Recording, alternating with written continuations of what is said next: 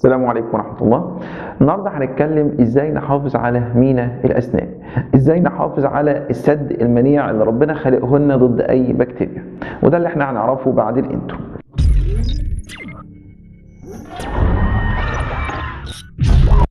ورجعنا لكم تاني.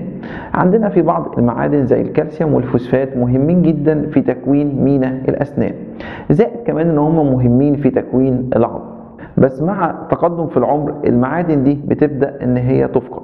طب يا ترى إيه هي أسباب إن هي تفقد؟ الموضوع ده راجع لأسباب كتيرة جدا. من ضمنها الأكل المليان سكر ومن ضمنها العصاير المليانة حموضة من ضمنها الجز على الأسنان وفي أسباب كتيرة جدا. طب يا ترى هل في طرق تحافظ لنا على مينا الأسنان؟ في بعض العادات البسيطة وبعض الوصفات الطبيعية اللي نقدر من خلالها نحافظ على مينا الأسنان طب يا ترى زي إيه؟ من أهمها ودي دايما أنا بأكد عليها هي غسيل الأسنان مرتين في اليوم. طب يا ترى إحنا بنغسل أسناننا ليه؟ إحنا بنغسل أسناننا علشان خاطر نقاوم البكتيريا اللي بتسبب التسوس. زي بكتيريا إيه؟ زي بكتيريا Streptococcus mutans دي أكتر بكتيريا اللي بتعمل التسوس. كمان في حاجة نقدر إن إحنا نحافظ بيها على مينا الأسنان هو استخدام معجون فيه فلورايد. طب يا ترى ليه بنستخدم المعجون اللي فيه فلورايد؟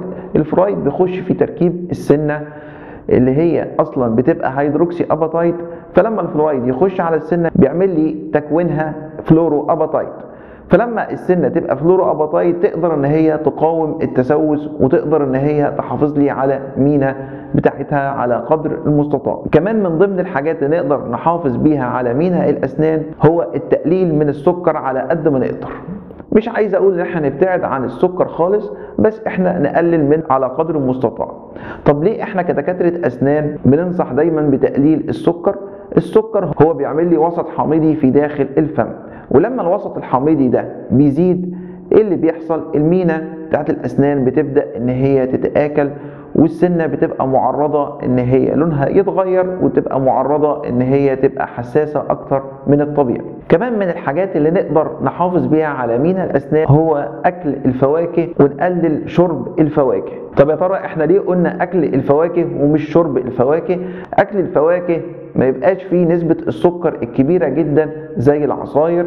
غير كمان إن في عندنا بعض الفواكه هي بتبقى مهمة جدا للحفاظ على مينا الأسنان وده اللي إحنا وضحناه في فيديو قبل كده. وفي موضوع في غاية خطورة هو جفاف الفم.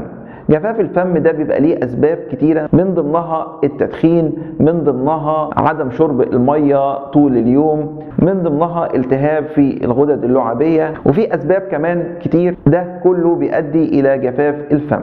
سبحان الله ربنا خلق لنا اللعاب في بقنا. ده بيقاوم التسوس وبيقاوم البكتيريا اللي بتعمل التسوس عشان خاطر فيه حاجة اسمها انتي بكتيريال فلما الفم بيبقى جاف إيه اللي بيحصل؟ البكتيريا دي بتنشط وبتاكل في مينا الأسنان. فإحنا لازم نكتر من شرب المية في خلال اليوم على الأقل نتكلم من 6 ل 8 كوبايات في خلال اليوم. وآخر حاجة هنتكلم عليها هي الكربوهيدرات. زي إيه الكربوهيدرات؟ زي الرز والعيش والمكرونة.